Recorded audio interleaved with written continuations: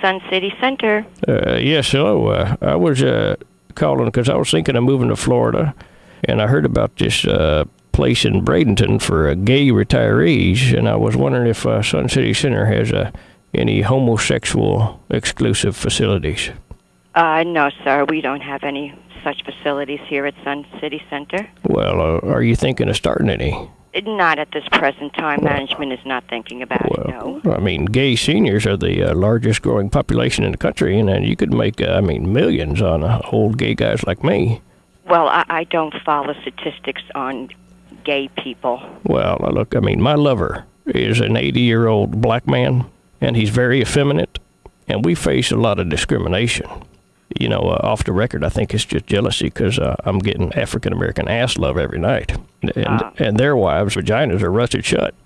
Well, well, excuse me, sir. I think you should refer your phone call to the Civil Liberties Union. Maybe they can uh, do something for you. But here at Sun City, Listen, the point is we need separate living facilities where we can practice our sexuality amongst our own kind. Well, that that's very nice. Uh, I'm glad to hear that. But uh, again, I have to reiterate: Sun City does not have any facilities. But I'm, but I'm trying to help you out. If you should you should start some because I mean I want to be able to walk down the street in a pair of crotchless adult diapers without being stared at. Well, excuse me, sir. I'm not into your scene, and um, I, I I don't think this phone call should really be going on any further. Listen to me now. If I was to play shuffleboard at Sun City Center and use an eight foot rubber penis as a pole, Sir, while my I- partner lays uh, spread eagle at the other end of the court, and I try to shuffle discs up his ass, would I catch a lot of flack? I, I find you to be the most repelling, offensive, disgusting.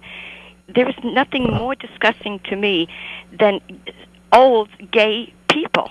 Well, I'm going to take that as a compliment. Now, look, this is see, this is the kind of prejudice I'm facing, and that's why we need our own place.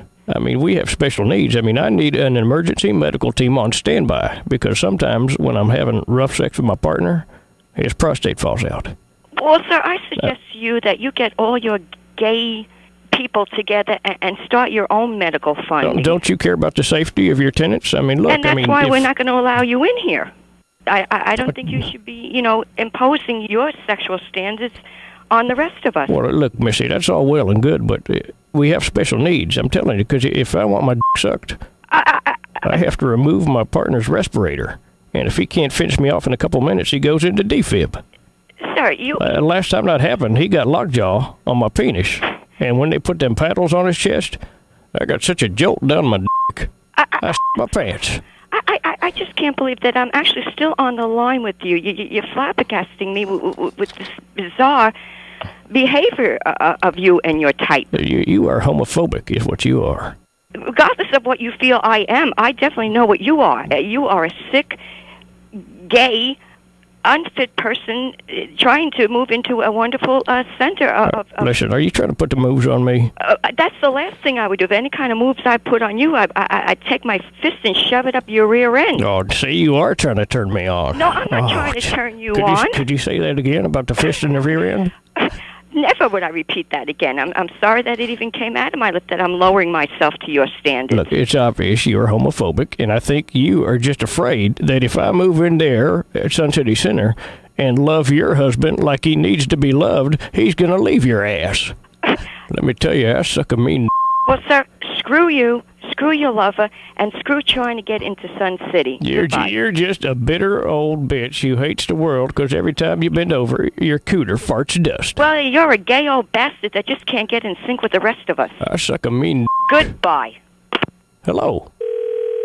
Sun City Center. Uh, yes, could I speak to the woman who wants to put her fist at my rear end? Hello. God damn it.